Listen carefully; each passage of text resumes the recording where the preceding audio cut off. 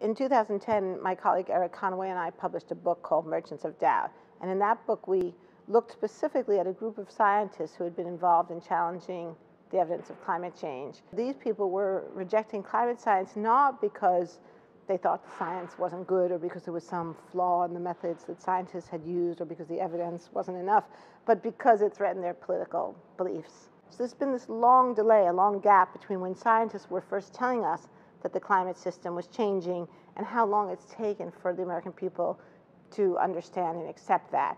And that delay is really costly because that's 20 years during which greenhouse gases have been accumulating, during which we could have been taking steps to adopt renewable energy or more energy efficiency or develop new technologies that would help us solve the problem.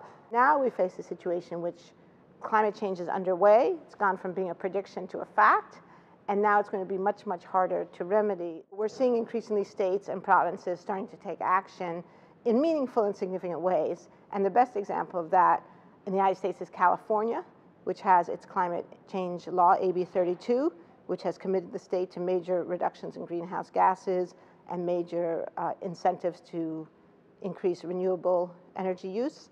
In British Columbia, there's a carbon tax.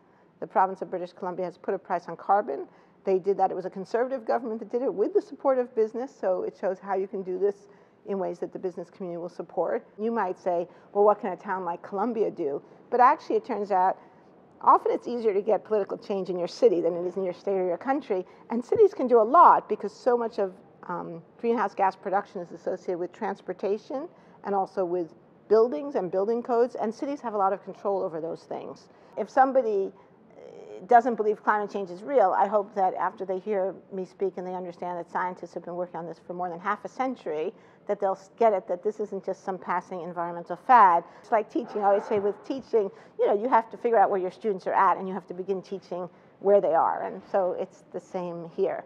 Different people are in different places on this issue, but no matter where you are, I think there's something, uh, there's, there's, forward, there's forward movement that we can achieve.